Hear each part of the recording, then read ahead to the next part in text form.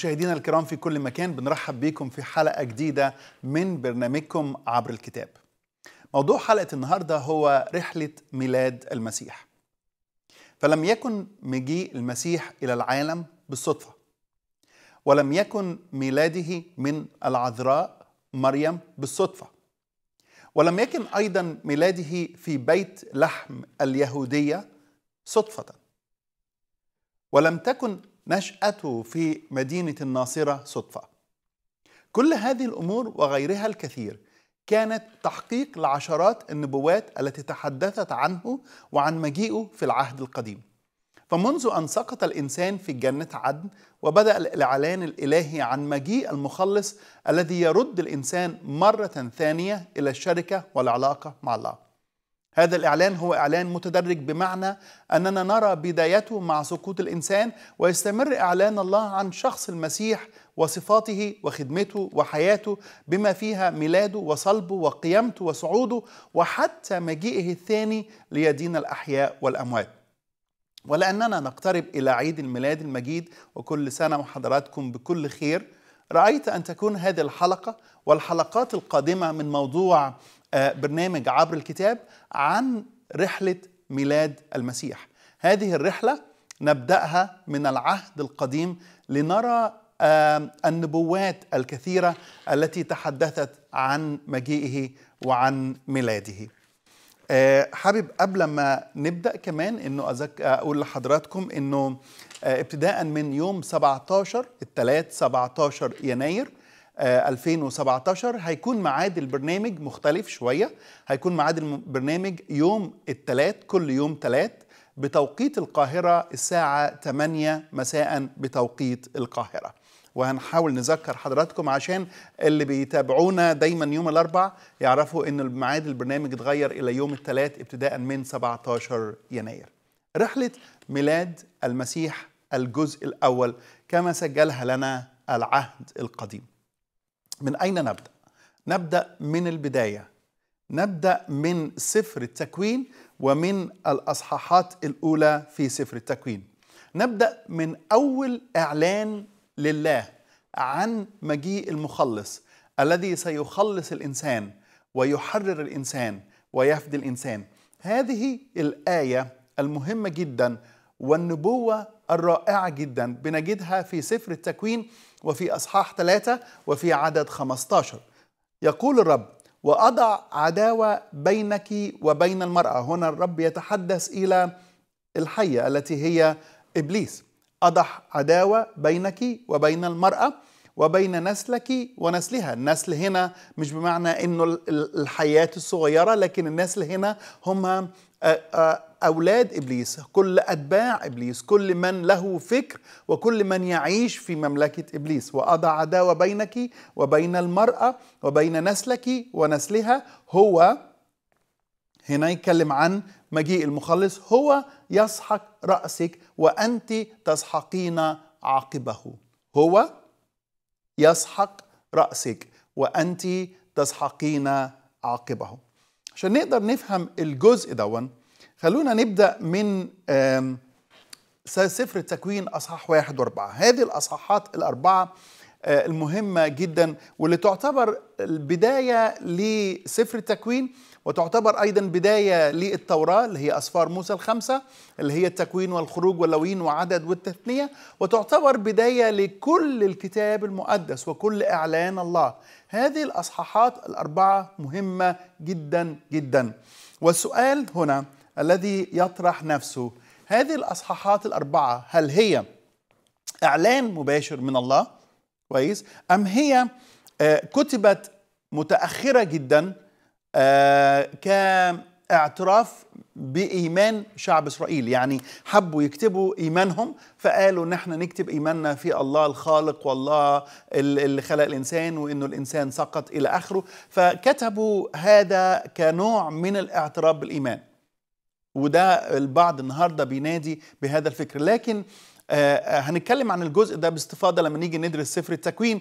لكن آه الأصحاحات واحد إلى أربعة من سفر التكوين هي إعلان مباشر من الله لموسى حتى يكتب موسى لشعب إسرائيل عن الله الخالق وعن سقوط الإنسان وحتى يعرف الإنسان ماذا حدث وكيف وجد الكون ولماذا خلق الله الإنسان وكيف خلق الله الإنسان وإيه هي ميزات واختلافات الإنسان عن بقية الحيوانات ولماذا هذا الكائن الذي أوجده الرب الإنسان الذي هو تاج الخليقة لماذا هذا الكائن مهم جدا في نظر الله؟ هي إعلان مباشر من الله لموسى. لم يكن أحد موجود عندما خلق الله الكون في اليوم الأول والثاني والثالث والرابع والخامس والسادس. لم يكن أحد موجود أيضا في جنة عدن سوى آدم وحواء والكائنات. فبالتالي هذه الإعلانات هي إعلانات مباشرة من الله. الله أراد أن يحدثنا عن أمور لم نكن نعرفها ولم نكن جزء منها عندما حدثت. لكن هي إعلان إلهي. لكن هذا الإعلان الإلهي نقطة مهمة أخرى. هذا الإعلان الإلهي هو إعلان عن أحداث تاريخية. يعني الخلق حدث تاريخي. والإنسان الأول آدم وحواء أشخاص تاريخيين. والسقوط حدث تاريخي لأنه البعض النهاردة بينادي وبيقول أنه هذه ال ال الأصحاحات ما هي إلا أساطير رمزية بمعنى أنه هي قصص مش تاريخية لكنها كتبت علشان ناخد منها المغزى الروحي ونتعلم منها أمر روحية لكنها لم تكن تاريخية.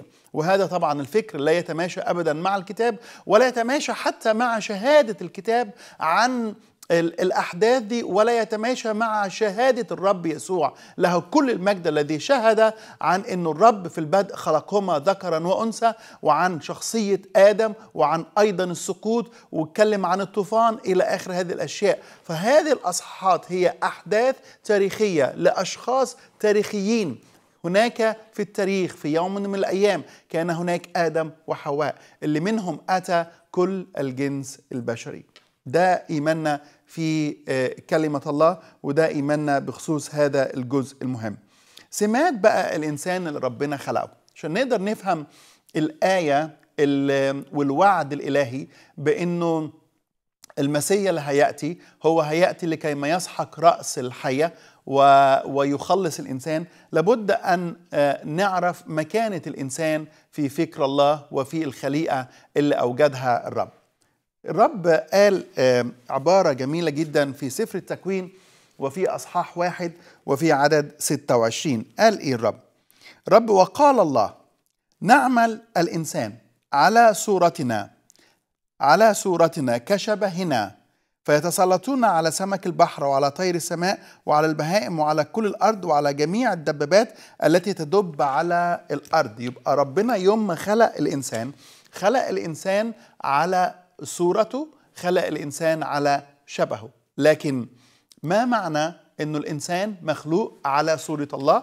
وما معنى أن الإنسان مخلوق على شبه الله؟ طبعا الصورة والشبه هما يعني كلمتين حتى يعني ما فيش اختلاف بينهم كتير لكنه للتأكيد. فاستخدم أكثر من كلمة ليؤكد أن الإنسان له ميزة مختلفة عن بقية الكائنات التي خلقها الرب من قبل. المصطلح دون على شبهنا وعلى صورتنا لا يعني أي تشابه خارجي بين الإنسان والله. يعني الله روح. و و وليس جسد فهو غير مادي غير جسدي غير مادي إنه وراء الكم ووراء ال وأيضا والمحدودية. ليس له هيئة أو شكل ولا يمكن أن يصور أو يوجد له شبه. ده الله الله روح. فلا يوجد هناك شكل معين لله. يعني إحنا إحنا كبشر لينا شكل معين. حتى وإن اختلفت أحجامنا وإن اختلفت آه يعني ألواننا وإن اختلف بعض ال ال ال ال الأشياء فينا. لكنه الإنسان إنسان تقدر ترسمه. تقدر إنك مجرد ترسم صورة إنسان وأي حد يقدر يدرك إنه هذا هو الإنسان. لكن الله ليس له صورة وليس له شبه. الله روح وليس مادة. الله خارج نطاق المحدودية محدودية الزمن ومحدودية المكان. الله ليس له هيئة. لكن ما معنى إنه الله يخلق الإنسان على شبهه وعلى صورته؟ أول حاجة بننفيها إنه ليس هذا التشابه هو تشابه مادي أو تشابه خارجي بين الله والإنسان. ده مش فكر الكتاب نهائي. هذا المصطلح نصنع الإنسان على صورتنا كشبهنا يشير إلى البعد الروحي للإنسان ودي نقطة مهمة جدا. بعد روحي للإنسان.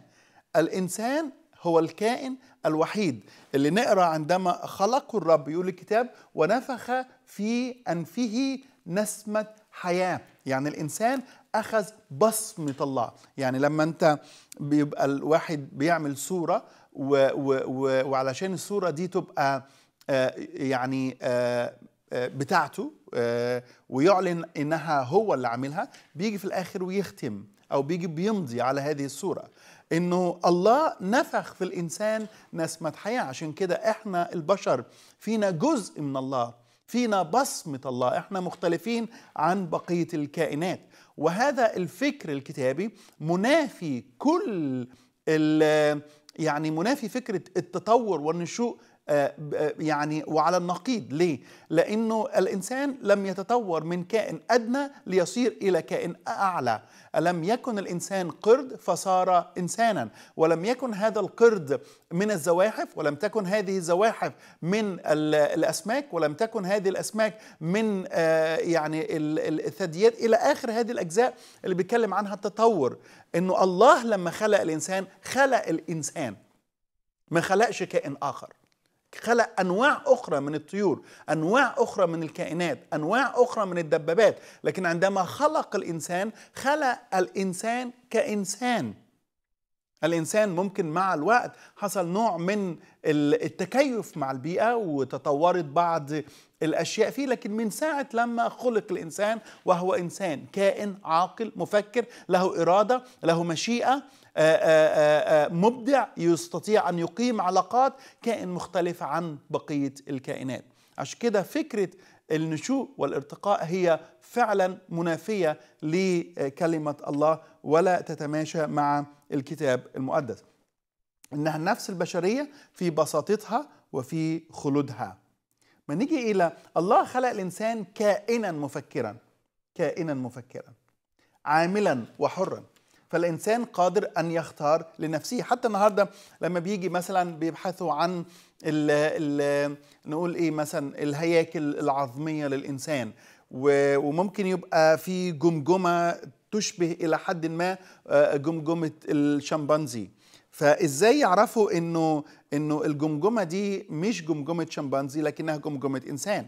إذا عملوا نوع من البحث للمنطقة واكتشفوا إنه في المنطقة دي في أدوات صنعها الإنسان. الإنسان بيخترع الإنسان بيقدر إنه يعمل نار الإنسان بيقدر إنه يعمل أدوات ياكل فيها يقدر يعمل معلقة يقدر يعمل شوكة يقدر يعمل سكينة يقدر يبني بيت يقدر إنه يخترع أشياء من المعادن ومن من الأخشاب. عشان كده الكائن الإنسان كائن مفكر منذ أن خلقوا الرب وهو كائن مفكر. كائنا عاملا وحرا. الرب هو في البداية قال له من جميع شجر الجنة تأكل وأما شجرة معرفة الخير والشر فلا تأكل منها. لو الإنسان ما عندهوش هذه الحرية فكيف للرب أن يعطيه هذا الاختيار؟ يبقى حتى الاختيار دون اختيار مغلوط فالإنسان قادر أن يختار لنفسه. قادر إنه يحب الله ويعيش معاه وقادر إنه يرفض الله ويبتعد عنه. الإنسان كائن مختلف. من الناحية الأخلاقية على صورة الله وشبهه من الناحية الأخلاقية فإن الله خلق الإنسان متمتعا ببر وصلاح وقداسة. الإنسان هو الكائن الوحيد الذي عنده القدرة على ممارسة كل أنواع الفضيلة. ده طبعا قبل السقوط. عندما كان الإنسان في حالة البراءة إنه قادر على ممارسة كل أنواع الفضيلة. المحبة والعطاء وال والبذل والتضحية والبر والقداسة إلى آخر كل هذه الأمور. فالله خلق الإنسان ككائن مختلف عن بقية الحيوانات. من الناحية الاجتماعية خلق الإنسان للشركة. هو الكائن الذي يستطيع أن يقيم شركة وعلاقة. صار الإنسان نائبا لله على الأرض ومتسلطا على كل خليقته. وهذا هو معنى إنه الإنسان مخلوق على صورة الله وعلى شبهه. طيب عندنا تليفون. ممكن ألو؟ مساء الخير. ألو مساء الخير.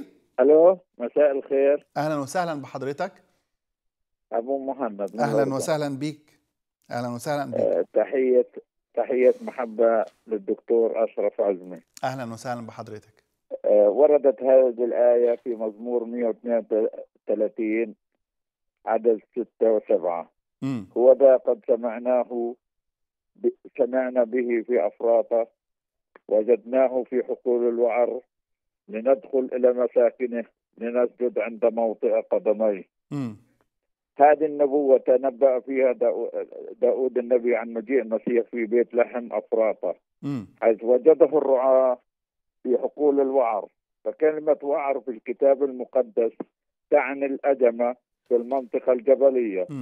فمغارة الميلاد تقع أصلا في المنطقة الجبلية وكانت كثيفة الأشجار والمنطقة كانت وما زالت تسمى الوعرة حتى آه. يومنا هذا. التي تمتد من بيت سحور إلى منطقة العطن. العطن كلمة أرامية تعني الباب الشرقي لمدينة بيت لحم. و... ومغارة الميلاد تقع في شرق بيت لحم. جميل. الملاصقة لمغارة الميلاد. كنيسة المهد حاليا. آه. هناك شجر الرعاة بعد استلامهم البشار من الملاك وترنيمة الجند. السماوي كما سجد المجوس للطفل يسوع عند موطئ قدميه طيب جميل. أشكرك يا اخ أبو مهند. يعني آه أنت دايما سباق. آه إحنا كنا هنيجي للأجزاء دي. آه طبعا مش حرقتها يعني لكنه آه إحنا بنشكرك على هذه المداخلة وعلى هذا التوضيح الجميل لهذه النبوة المهمة. اللي ذكرت في العهد القديم عن ميلاد شخص ربنا يسوع المسيح. وهنتكلم عن النبوات دي باستفاضة في الأسابيع القادمة إذا أعطانا الرب وتأنى الرب في في مجيئه. طيب ده معنى إنه الإنسان عشان كده الإنسان مميز عن بقية الحيوانات. والإنسان مميز في خليقة الله الإنسان هو النائب لله على الأرض. ولما ربنا خلق الإنسان كلف الإنسان باكثر من أمر. أول حاجة الرب كلف الإنسان بها كلفه بأن يسود ويتسلط. يسود ويتسلط على سمك البحر وعلى طير السماء وعلى كل حيوان يدب على الأرض. هذا التكليف أيضا نراه بوضوح في بركة الله لهم بأن يثمر ويكثر ويملأ الأرض. هو الكائن الوحيد اللي الله اعطى له هذا السلطان. هذا السلطان اللي ربنا أعطاه للإنسان نابع من إنه اولا مخلوق على صورة الله وعلى شبهه. مفكر عاقل آم اجتماعي هذا هو الكائن اللي ربنا خلقه كتاج للخليقة وكلفه بهذا التكليف. كمان التكليف الثاني التكليف من ناحية العلاقات الاجتماعية. عشان كده يقول خلقهما ذكرا وأنثى. يعني لما ربنا خلق الإنسان في البدء خلقه ذكرا وأنثى. لكي يقيم علاقات اجتماعية ويكون لكل من الذكر والأنثى الرجل والمرأة يكون لهما دور مهم جدا في تحقيق مقاصد الله اللي خلقهم من أجلها. على الإنسان أن يستمر أيضا في علاقته بالله. وعشان كده ربنا أعطى الإنسان وصايا. حفظ الإنسان لهذه الوصايا هو إعلان لاستمراره في العلاقة مع شخص الله. هذه التكاليف الثلاثة بنجدها في خلق الله للإنسان. لكن للأسف الإنسان سقط.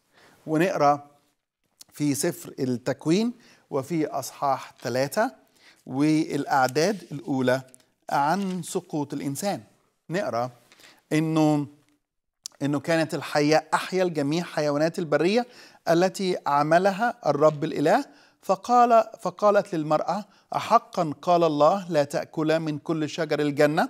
فقالت المرأة للحية من ثمر شجر الجنة نأكل وأما ثمر الشجرة التي في وسط الجنة فقال الله لا نأكل منها ولا تمساه. فقالت الحية للمرأة لن تموت بل الله عالم أنه يوم تأكلان منهم تنفتح أعينكما وتكونان كالله عارفين الخير والشر. فرأت المرأة أن الشجرة جيدة للأكل وأنها بهجة للعيون وأن الشجرة شهية للنظر فأخذت من ثمرها وأكلت وأعطت رجلها أيضا معها فأكل فانفتحت أعينهما وعلم أنهما عريانان فحاط أوراق فخاط أوراق تين وصنع لأنفسهما لأنفسهما مآزر. تكلم عن الجزء دون آه لكن خلونا الأول ناخد مكالمة آه آه من الجزائر بن علي الأخ بن علي. آه من الكويت سوري. ألو.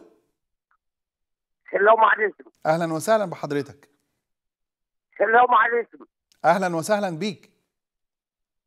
لا بأس. لا بأس. اتفضل كمل. كمل. أيوه سامعك اتفضل. آه بقي نسأل على سؤال. اتفضل. آه يقول لك نبي عبده وأظهره والله عليه. نبي عبده وأظهره والله عليه اللي ظهر الحديث السري منه. لا أنا مش مش مش مش سامع أظهره والله عليه معناها معناها. آية في القرآن. آه لا لا أنا أنا مش هنا آه آه عشان أفسر آيات القرآن.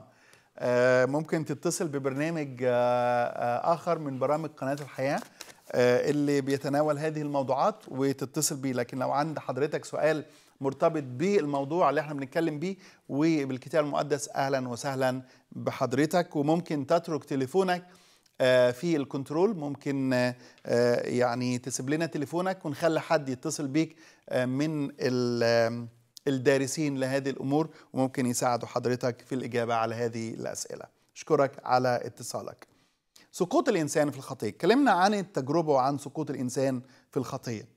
بنجد هنا أن الله أتى للإنسان بالرغم من خطيته. نقول هنا يقول لنا سفر التكوين وفي أصحاح 3 وعدد 8 وسمع صوت الرب الإله ماشيا في الجنة عند هبوب ريح النهار فاختبأ آدم وامرأته من وجه الرب الإله في وسط شجر الجنة. وابتدأ الرب هنا يتكلم مع آدم ويتكلم مع حواء ويوجه كلامه آه، إليهما في بعض الملاحظات مهمة جدا وإحنا ب- بندرس هذا الجزء آه، نعرفها من خلال أسئلة الله التي سألها للإنسان. أول ملاحظة ربنا وجه ثلاث أسئلة للإنسان. وجه لهم للإنسان الساقط. أول سؤال أين أنت؟ طبعا هنا آه، البعض أول لما يعرف السؤال ده يقول لك شوفوا هنا قد إيه مثلا الكتاب المقدس كتاب بيوصف الله بإنه غير عارف. لما يقول أين أنت مش معناها إن ربنا مش عارف أين آدم وأين حواء. كويس؟ لكنه آدم انفصل عن الله روحيا. عندما سقط آدم وكسر وصية الله انفصل آدم عن الله روحيا. فهذا الانفصال اللي حصل ليس معناه إنه ربنا مش عارف آه، آه، آدم مكانه المادي أو الجسدي فين. هو عارف أين آدم مختبئ. فالله يعلم كل شيء. عيناه تخترقان أستار الظلام. هو يعلم ما في السماوات وما على الأرض. كل شيء عريان ومكشوف قدامه. فعشان كده حتى مزمور 39 139 يقول أين أذهب من روحك ومن وجهك أين اهرب يعني لا يوجد مكان الإنسان يستطيع أن يختبئ من وجه الرب. نختبئ من الناس آه. لكن ما نقدرش نختبئ من الله. فهنا مش معناه إنه أين أنت بمعنى إن ربنا مش عارف لكن معنى هنا إنها دعوة إلهية تؤكد انفصال الإنسان وبعده عن الله بعد السقوط. فينك يا آدم؟ لما كنت باجي وأقيم شركة معاك وأتكلم معاك فينك. انفصلت ابتعدت صارت الخطية فاصلا بيننا وبين الله. وبعدين هنا آدم بدل ما يجاوب على على الرب يعني الرب هنا سأل آدم قال له أين أنت؟ طبعا الجواب المفروض اللي كان يتقال إنه أنا يا رب أخطأت أو أنا انفصلت عنك. فقال سمعت صوتك في الجنة فخشيت لأني عريان فاختبأت. كويس؟ فهنا يقول إيه؟ فقال له الرب من أعلمك أنك عريان؟ من أعلمك أنك عريان؟ هل أكلت من الشجره طبعا ربنا عارف إنه أكل من الشجره هنا هنا ربنا بيقوم بدور القاضي الذي يسأل لكي ما يعترف الإنسان بالخطية ويعترف الإنسان بفعلته. كل الأدلة معروفة أن آدم وحواء سقط في الخطية لكن الرب يريد أن من آدم وحواء أن يدرك أنهما سقط في الخطية. زي لما لما بتبقى حاطط حاجة في الثلاجه ومثلا حاطط شوكولاتة وقايل لأولادك محدش ياكل منها. لكنك شايف إنه واحد منهم بقه مليان بالشوكولاتة. وتيجي تقول مين اللي كل شوكولاتة؟ ده مش معناه إن أنت مش عارف مين. أنت ده معناه إن أنت عايزه يعترف بإنه كسر وصية بإنه كسر أمر. أنت قلت لأ. ربنا هنا بيقود الإنسان إلى الاعتراف. بيقود الإنسان للاعتراف. عشان كده ما هذا الذي فعلت؟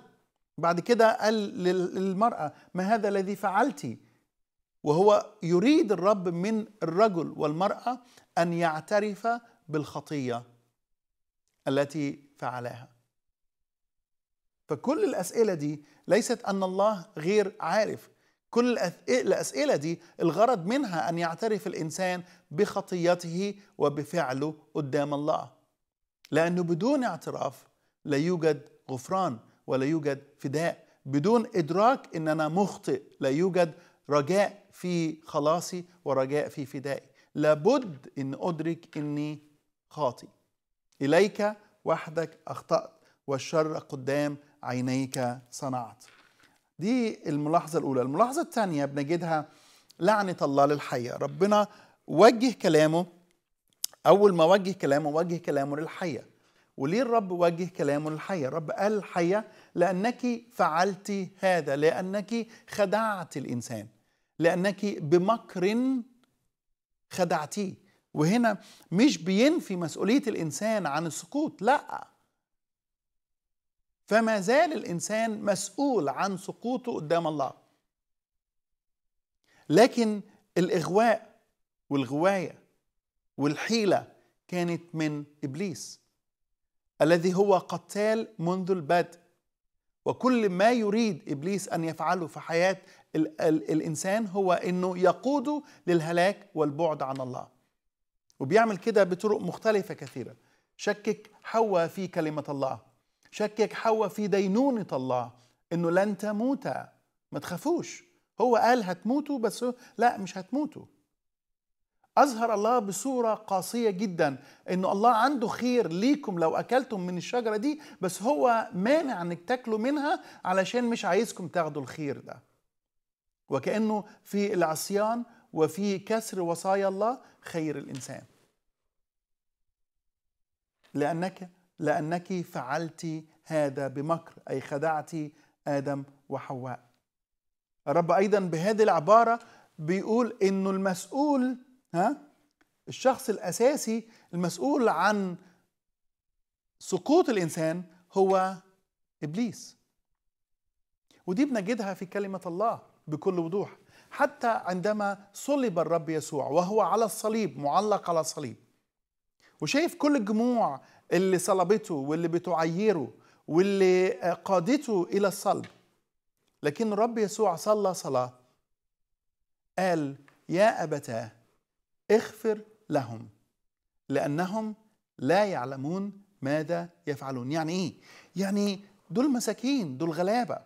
الإنسان ضعيف الإنسان أسلم نفسه إلى سيد قاسي إلى إبليس وصار هو وإبليس عدو كل بر. يا أبتاه اغفر لهم لأنهم لا يعلمون. هنا نفس الفكرة أن الرب بيوجه كلامه إلى الحية ويقول لأنك فعلت هذا لأنك تسببت في هذا. أحبائي زي ما قلت مش معنى كلام الله إنه الإنسان غير مسؤول. إحنا مسؤولين مسؤولية كاملة قدام الله. عشان كده الكتاب بيقول أنت بلا عذر أيها الإنسان. مفيش عذر. لا يوجد عذر إن أنت تعيش في الخطية. ولا يوجد عذر إن أنت بعيد عن الله ولا يوجد عذر إن أنت عايش في خطاياك وفي وفي أثامك. ولا يوجد عذر إن أنت بتكسر وصايا الله ولا يوجد عذر إن أنت بتخون ولا يوجد عذر إن أنت بتسرق ولا يوجد عذر إن أنت أناني ولا يوجد لا يوجد عذر. أنت بلا عذر. ليه؟ لأنه الله قد صنع الفداء والخلاص. وبيدك أن أنت تصير إنسان جديد من خلال الإيمان بشخص يسوع المسيح.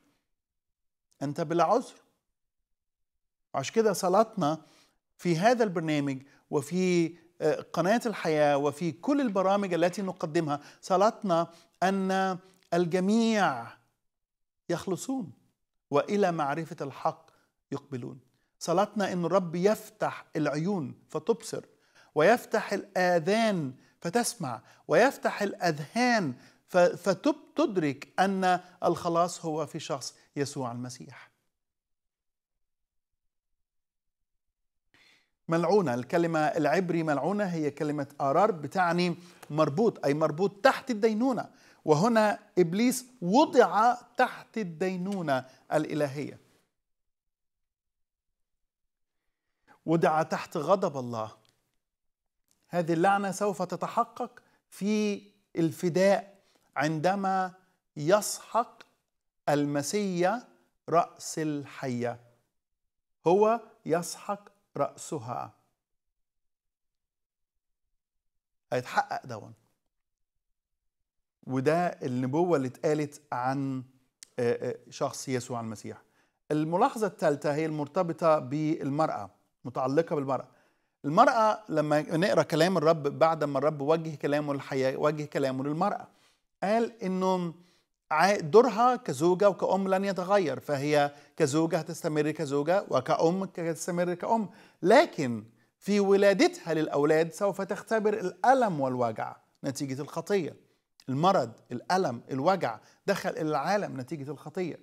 كما أيضا هيحصل هتستمر في علاقتها كزوجة لكن العلاقة بينها وبين زوجها هيكون دايما فيها صراع لأنه دخلت الأنانية ومحاولة تسلط كل شخص منهم على الآخر. إلى زوجك يكون اشتياقك وهو يتسلط عليك لأنه هذا هذه العلاقة وبوجود الخطية صار هناك نوع من الصراع ونوع من عدم السلام بين المرأة وبين الرجل. هو آلام المرأة إنه المرأة التي أعطيتني كويس؟ وبدأ الإنسان يلوم الآخر على خطاياه. بنجد هذا بداية من سفر التكوين. الملاحظة الرابعة متعلقة بآدم. رب وجه توبيخ لآدم. رب لما جه لآدم قال هذه الكلمات وقال لآدم لأنك سمعت لقول امرأتك وأكلت من الشجرة التي أوصيتك بها. يعني إيه؟ لأنك سمعت لقول امرأتك. مش معنى كده إن الراجل ما يسمعش لزوجته. يعني مش عايزين نعمل مشاكل أسرية ونتسبب في خلافات أسرية. لكن عندما يأتي الأمر إلى وصية إلهية ينبغي أن يطاع الله أكثر من الناس. ينبغي أن يطاع الله أكثر من الناس. عندما يوصي الرب الإنسان بوصية ينبغي أن يضع الإنسان الله اولا ووصية الله اولا في حياته. آدم عمل اعتبار لحواء فسمع لكلامها وكان نتيجة سماعه لكلامها أنه كسر وصية الله.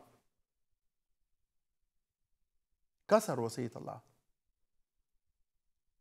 أنتم عبيد للذي تطيعونه. فإن كان الله هو الذي أطيعه فأنا عبد لله. وإن كانت الخطية هي التي أطيعها فأنا عبد للخطية. وإن كان الإنسان هو الذي أطيعه فأنا عبد للإنسان. وإن كان المال هو الذي أطيعه فأنا عبد للمال. هنا الرب بيقول وجه توبيخه لآدم وقال له لأنك سمعت إن أنت آدم لم تمارس دورك القيادي كشخص روحي مسؤول عن الأسرة. تركت هذا الدور وعصيت كلمة رب. لم تمارس أيضا سيادتك على الطبيعة جعلت ال ال الثمرة تسيطر عليك والشهوة تمتلك حياتك. وعشان كده علاقتك مع الأرض هتتغير. الأرض اللي هي مصدر الخير ليك علاقتك معاها هتتغير. يقول كده ملعونة الأرض بسببك. بالتعب تأكل منها كل أيام حياتك. وشوكا وحسكا تنبت لك. وتأكل عشب الحقل بعرق وجهك تأكل خبزا. حتى تعود إلى الأرض التي أخذت منها لأنك تراب وإلى التراب تعود. كانت دينونة الله على آدم. لكن وسط هذه الدينونة ووسط هذا الإعلان الإلهي لدينونه الله على الحية ودينونه الله على المرأة ودينونه الله على آدم. يأتي نور إلهي. يولد رجاء وأمل للإنسان الذي سقط وفقد الرجاء والأمل في الخلاص. في وسط الإعلانات الإلهية للدينونة يعلن الله أمر جديد ورائع ولأول مرة يعلن في تاريخ الفداء كله. هو معروف سابقا عند الله لأن الله لا يصنع أموره بهذا الشكل الله لا يصنع أموره زي رجل المطافي أنه أول ما يشوف حريقة يفكر أنه يطفيها. لكن كل الأمور هي معلنة ومكشوفة قدام الله وخطة الفداء معروفة سابقا قبل تأسيس العالم. يعني خطة أن الله يفدي الإنسان معروفة قبل تأسيس العالم. والمسيح يسوع قدم نفسه لله كأقنوم تاني لكي ما يصنع هذه الخطة الفدائية عندما وضع مشيئته وقال لا لتكن مشيئتي بل مشيئتك. قبل تأسيس العالم مش كده؟ دم يسوع المسيح معروف سابقا قبل تأسيس العالم لكن أعلن لنا عند سقوط الإنسان. أول إعلان إلهي عن خلاص الإنسان وفدائه في المسيح يسوع جاء في وسط إعلان الدينونة الإلهية على الخطية وعلى الإنسان الذي أخطأ. وعشان كده الوعد بالمسيح. هذا الوعد بالمسيح بنجده زي ما قلت في أصحاح ثلاثة وفي عدد 15 وأضع عداوة بينك هنا الحية أو إبليس. وبين المرأة يبقى في هنا هيجي نسلين. نسل هو نسل الحية وزي ما قلت نسل الحية ليس يعني حيات صغيرة ونسل المرأة لكن نسل الحياة هم أولاد إبليس. أنتم من أب هو إبليس وأعمال أبيكم تريدون أن تعملوا. كل ما هو معادي لله كل ما هو ضد الله كل ما هو مقاوم لمشيئة الله كل ما هو ضد كل بر وقداسة هو معادي لله هذا هو نسل إبليس والمرأة نسل المرأة النسل المبارك ونشوف النسل دون إزاي ماشي في العهد القديم. إلى أن يأتي من نسل المرأة المسيح. الذي يسحق رأس الحية وسحق الرأس معناه إنه ينهي عليه يميتها.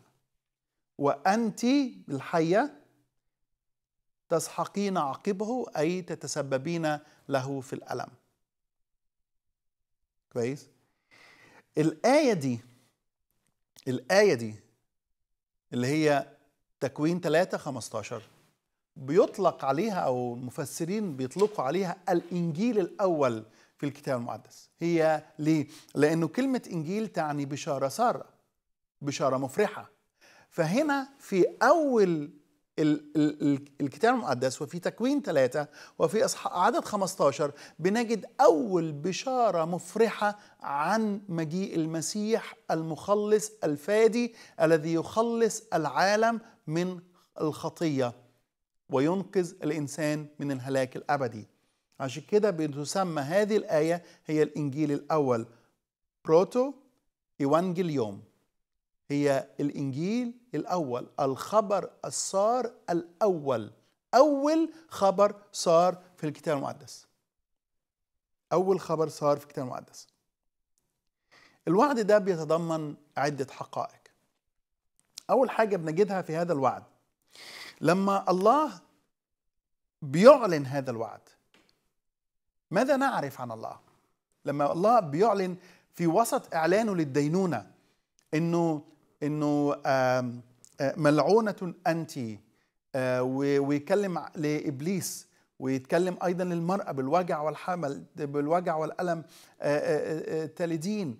والا رجلك يكون اشتياقك وهو يتسلط عليك. ولما يتكلم عن آدم ويتكلم عن أيضا الأرض التي تخرج شوكا وحسكا إلى آخر هذه الأشياء بعد السقوط الصورة اختلفت. الإنسان اللي ربنا خلقه في أصحاح اتنين واللي كان في الجنة متسلط وله كل السيادة واللي كان في حالة البراءة والقداسة هذا الإنسان سقط وأخطأ وابتعد عن الله وانفصل عن الله. لأن الله قدوس والإنسان صار خاطئ. لكن هنا بنجد في هذا الوعد الإلهي بنجد استمرار الله كسيد وصاحب السلطان المطلق. يبقى ممكن الواحد لما يجي يقرأ هنا آه يبقى ربنا الأمور خرجت بره إيده. لا لا لا. الوعد ده بيأكد إن الأمور لم تخرج بره يد الله. ليس إبليس هو المتحكم وليس إبليس هو صاحب الكلمة الأولى والأخيرة. لكن المتحكم في كل الأمور وصاحب الكلمة الأولى والأخيرة وسيد كل الأحداث من أولها إلى آخرها هو رب المجد. إله التاريخ. هو السيد الذي يصنع والذي يقول فيكون ويأمر فيصير. عشان كده لما بنقرأ الوعد ده بنجد إيه؟ الوعد ده بيؤكد استمرار الله كسيد وكصاحب للسلطان. فإبليس سبى الإنسان. آه الإبليس سبى الإنسان. الإبليس جعل الإنسان يسقط في الخطية. وبسقوط الإنسان الطبيعة والخليقة كلها بتئن وتتمخض معا لكن ما زال الله سيد الموقف. ما زال الله سيد الموقف. إنه ما يزال يفكر وينشغل بالإنسان الساقط.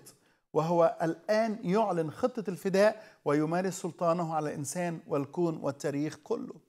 إحنا يمكن ننظر إلى عالمنا العربي وننظر إلى المأساة اللي عايشها عالمنا العربي. المأساة اللي عايشها الناس في سوريا أو في العراق أو في اليمن أو في بلاد أخرى في بلادنا العربية. ونرى كمية الشر والقتل والذبح والحرق والعبودية والجنس والانفجارات ونرى كمية الشر التي حتى نراها في عيون الأطفال الصغار. ممكن نقول إن الأمور خرجت بره زمام الله لا عزيزي. ما زال الله يخلص أناس وما زال الله يصنع عجبا وما زال الله يقود حتى هذه الأحداث يقودها لمجده ولاعلاء اسمه. هو سيد الموقف كله وليس الإبليس. النقطة الثانية نجد في هذا الوعد محبة الله للإنسان. كان ممكن الله إنه إنه خلاص بقى الإنسان فسد وسقط إلى التراب من التراب وإلى التراب تعود وانتهى الموضوع. لكن لا نجد هذا في كلمة الله. ليه؟ نجد محبة الله للإنسان الخاطئ. بالرغم من ان الإنسان أخطأ بالرغم من الإنسان سقط بالرغم من الإنسان اختار شهوته ورغبته وإرادته مقابل أنه يطيع الله ويعيش في حفظ وصاياه الإنسان صنع دوا.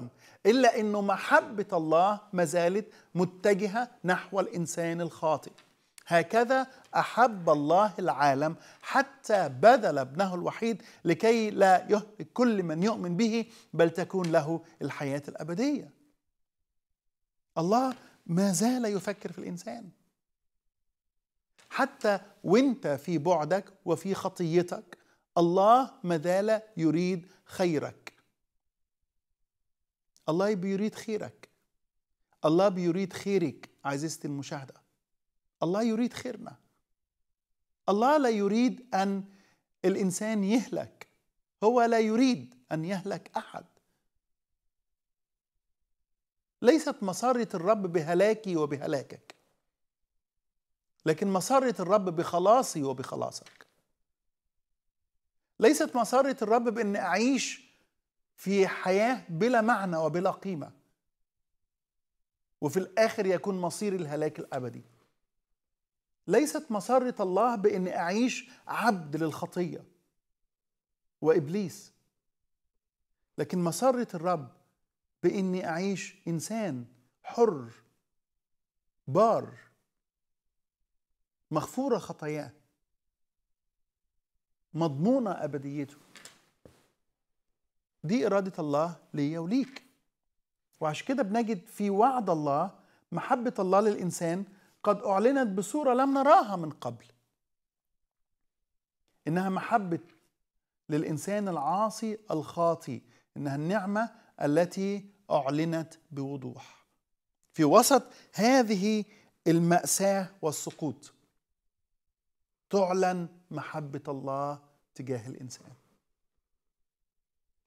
في وسط هذه الصورة المظلمة اللي الإنسان دخل نفسه فيها بإرادته.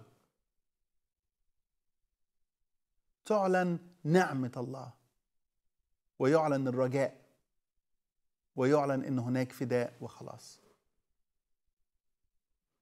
قد إيه جميلة كلمة الله. إن إعلان نعمة الله ومحبته جاء مرتبطا بإعلان عدله. يبقى الله أعلن عدله لكنه أيضا أعلن محبته. وهذا لا نجده في أي يعني ديانات أخرى والمسيحية ليست ديانة هي علاقة شخصية مع المسيح. لكن لو اعتبرنا إنه حتى إنه المسيحية ديانة لا تجد هذا الفكر في أي ديانة أخرى. إنه العدل والرحمة العدل والمحبة الله عادل آه وأعلن دينونته. لكن في نفس الوقت الله محب لا يريد للإنسان أن يهلك. فدبر للإنسان خلاصا وفداء ابديا. وهو مجروح لأجل معاصينا مسحوق لأجل آثامنا تأديب سلام عليه وبحبره شفينا.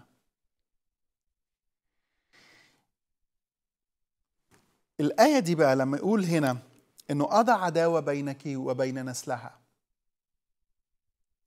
هو يسحق رأسك وأنت تسحقين عاقبه المقارنة في هذه الآية ليست بين يسحق رأسك وتسحق عاقبه بل هي في الحقيقة بين هو المسيا هو المسيا وأنت الحية المتمثلة في إبليس. دي المقارنة. إبليس يريد أن الجميع يهلك إن الناس تهلك.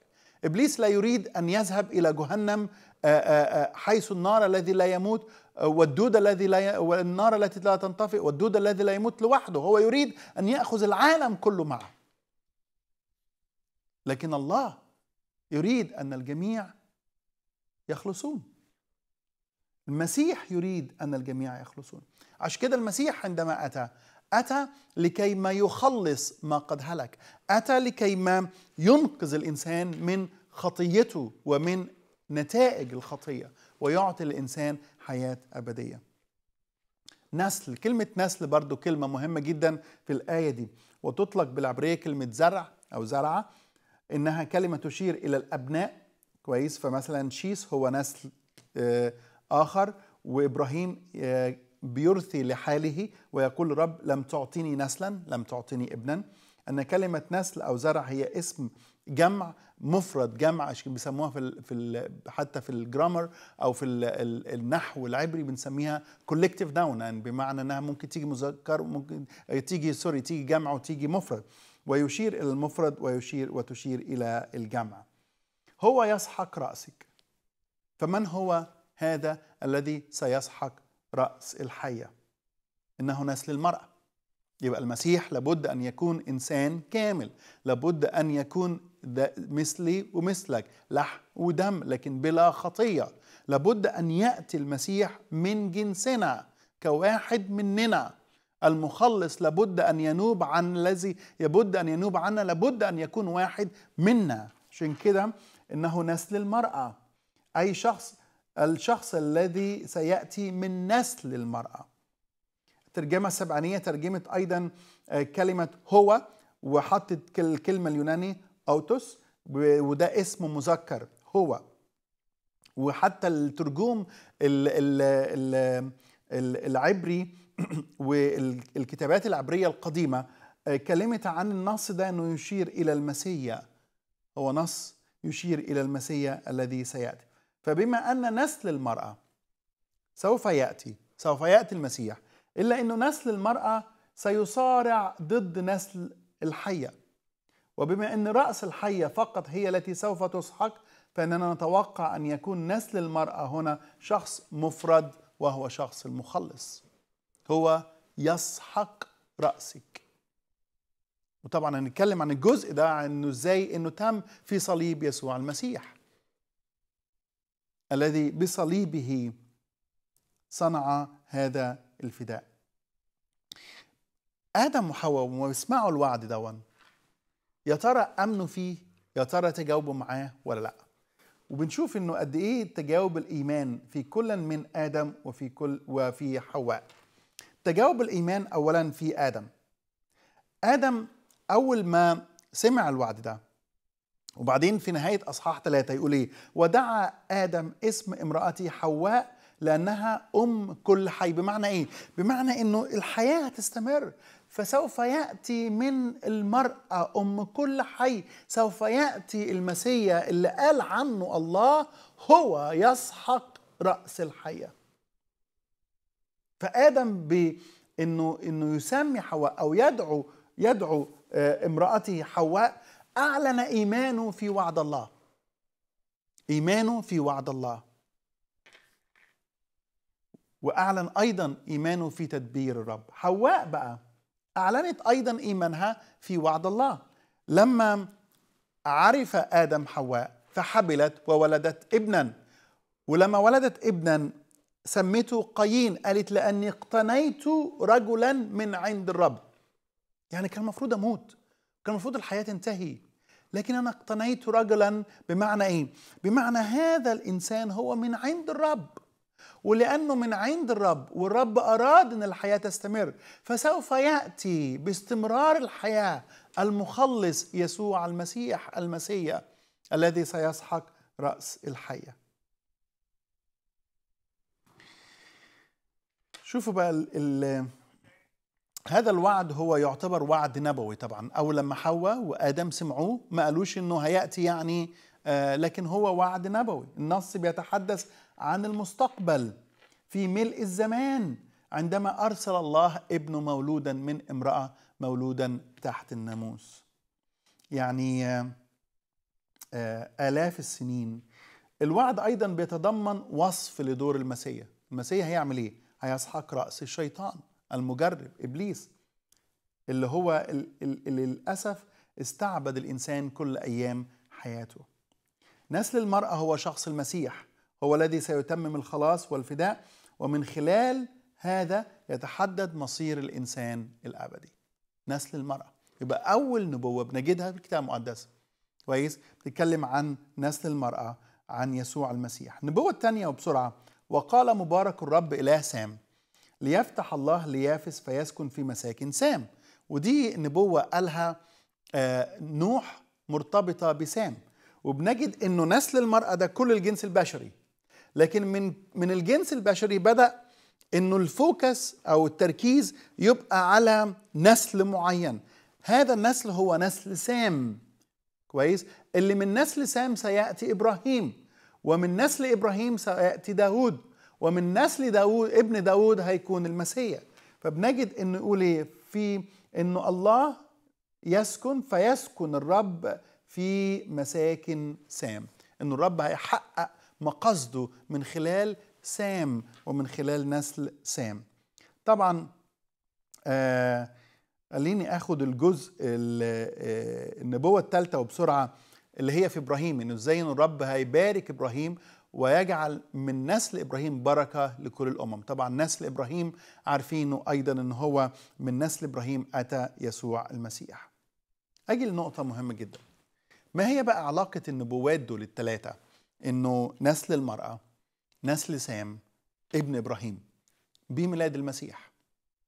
كويس؟ فده ياخدنا إلى العهد الجديد. ونشوف أن المسيح هو نسل المرأة إنسان كامل. المسيح ولد كإنسان كامل ولد من عذراء. إنه المولود منك يدعى ابن الله لكن ولد إنسان كامل. علشان ينوب عني وعنك. لكن الشيء الوحيد اللي بيفصله عني وعنك هو أن المسيح كإنسان كان بلا خطية. عشان يكون الذبيحة اللي بتنوب عني وعنك بلا لوم وبلا خطية. ما ينفعش واحد مديون يسدد ديني وما ينفعش واحد خاطي يبررني. لازم يكون بلا خطية. الوحيد الذي عاش على هذه الأرض بلا خطية هو شخص يسوع المسيح. كمان بنجد تحقيق هذه النبوة في كلام الرسول بولس لما اتكلم إلى أهل غلاطيا وقال لهم ولكن لما جاء ملء الزمان. يعني إيه ملء الزمان؟ النبوات دي كلها زي ما قلت كانت يعني تمهيد كانت إعداد. وابتدأ هذا الإعداد والتمهيد لمجيء المسيح منذ أن سقط الإنسان في جنة عدن. واكتمل هذا وبدأ الرب يتكلم عن إنه مش بس نسل المرأة لكنه من نسل سام وبعدين من إبراهيم وبعدين من يهوذا وبعدين من داود وبعدين يتكلم عن ألامه ويتكلم عن خدمته ويتكلم عن موته وعن رفضه ويتكلم عن قيامته وعن صعوده ويتكلم عن مجيئه الثاني هذه النبوات اكتملت في ملء الزمان جزء من معنى ملء الزمان إنه اكتمال النبوات. أرسل الله ابنه. مولودا من امرأة. يبقى هو نسل المرأة الذي ولد من امرأة. مولودا تحت الناموس ليفتدي الذين تحت الناموس لننال التبني بهذا العمل الذي صنعه يسوع صار لنا أن نصير نحن البعيدين أبناء لله. عشان كده كاتب العبرانيين يقول لنا آية جميلة جدا. يقول لنا المسيح قد تشارك الأولاد في اللحم والدم. يعني كلنا كجنس بشري لينا جسد بشري. هو اشترك زينا في اللحم والدم. كذلك فيهما لكي يبيد بالموت. ذاك الذي له سلطان الموت. يبقى أباد المسيح بالموت ذاك الذي له سلطان الموت. سحق رأس إبليس أي إبليس. ويعتق أولئك الذين خوفا من الموت كانوا جميعا كل حياتهم تحت العبودية. آخر شاهد بنجده في سلسلة نسب الرب يسوع. أن الرب يسوع هو ابن إبراهيم. إبراهيم لما يتكلم عنه كان يوصله إلى سام وسام إلى نوح وبعدين يتكلم عنه على أنه ابن لآدم. المسيح في ميلاده كان تحقيق لنبوات العهد القديم اللي اتكلمت عن مجيء المسيح المخلص. فإلى أن نلتقي في حلقة جديدة سلام المسيح يكون معكم.